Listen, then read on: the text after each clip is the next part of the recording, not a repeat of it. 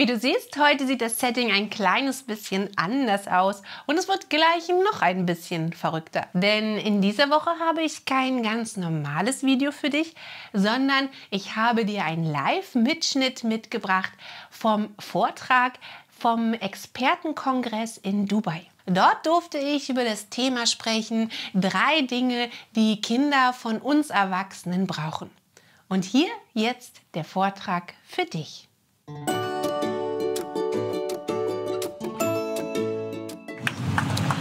Wie viele von euch können, wenn sie an ihre eigene Schulzeit sich erinnern, an mindestens eine Situation sich erinnern, wo sie das Gefühl hatten, hier passe ich gerade nicht so richtig in das System Schule? Schau mal, du als Schulkind warst ein bisschen wie dieses Einhorn hier. Das Horn symbolisiert deine ganz individuellen Fähigkeiten. Leider passen wir damit oft nicht so gut in das System Schule. Vielmehr nimmt Schule den Kindern diese besonderen Fähigkeiten, damit sie besser in das System Schule passen. Ich möchte dir heute die Geschichte von Jacqueline erzählen, die sehr viele Fähigkeiten hatte, diese aber lange Zeit nicht entdeckte.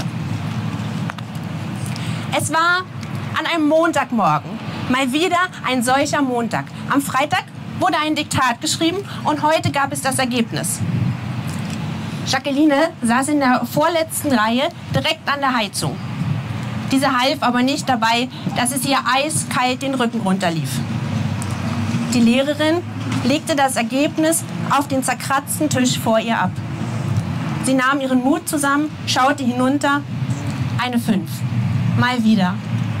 Schreiben, das konnte sie einfach nicht. Aber ist das wirklich so? Ich möchte heute mit dir drei Bausteine teilen, was Kinder von uns Erwachsenen brauchen und was auch Jacqueline brauchte. Das erste ist, jedes Kind braucht Zeit. Ja, sie war nun offiziell in der dritten Klasse, sollte nun eigentlich sämtliche Rechtschreibregeln beherrschen. Sie war aber immer noch der Meinung, dass Fuchs F-U-G-S geschrieben wird. Also total offensichtlich eigentlich. Besondere Sorge hatte sie davor, wie wohl ihre Eltern reagieren werden. Und genau das führt mich zum zweiten Punkt, was Kinder brauchen. Fehler werden zu oft als etwas Schlechtes gesehen. Dabei zeigen Fehler uns, was wir noch nicht können. Und daraus können wir lernen. Denn so sprach es auch ein Mann, der nach unzähligen Rückschlägen und Fehlversuchen sagte, ich habe nicht versagt. Ich habe nur 10.000 Wege gefunden, wie man keine Glühbirne macht. Und nur diesem unermüdlichen Lernen aus Fehlern ist es Edison zu verdanken, dass wir heute das Licht aus der Steckdose haben. Hätte er nach einmal Scheitern aufgegeben und sich eine Kerze angezündet, würden wir ganz woanders stehen. Doch in der Schule werden Fehler zu oft als etwas Schlechtes gesehen und rot angekreidet. Und dabei vergessen wir ein ganz wichtiges Lebenselixier des Kindes. Und genau das führt mich zum dritten Baustein, was Kinder brauchen. Kinder brauchen Anerkennung. Oft ist es uns Erwachsenen gar nicht bewusst, was wir den Tag über verteilt zu den Kindern sagen. Musst du denn immer so viele Fehler machen?